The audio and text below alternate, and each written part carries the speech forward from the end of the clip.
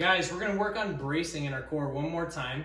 We're gonna do another basic movement, but execute it really well. This is an RKC plank from the kettlebell world. We're gonna focus on high tension through the midsection. Think about pulling your forearms down, grabbing the ground, pulling the elbows to the toes here. All right?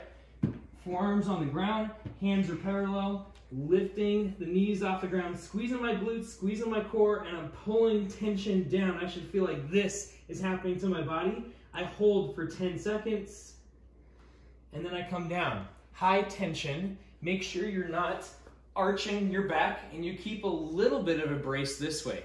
Keep those hips tucked, squeeze the glutes.